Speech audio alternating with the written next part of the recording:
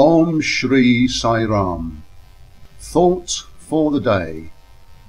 As written at Prasanthi Nilayam, today, 10th of April 2012. The spiritual aspirants in the midst of their efforts sometimes imagine God to be less glorious than he really is. They feel that the Lord differentiates between sinners and saints, or the ignorant and the wise. These are unsound inferences.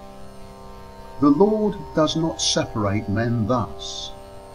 If he really did so, no sinner can survive his anger on earth for even a minute.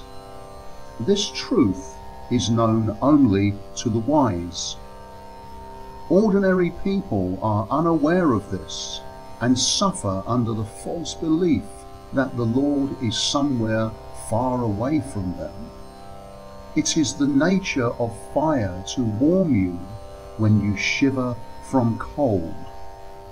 But how can it help you keep warm if you keep away at a distance? Similarly, those who are earnest to remove the chills of worldly ills have to seek the fire of wisdom, Jnana, which is won by the grace of God.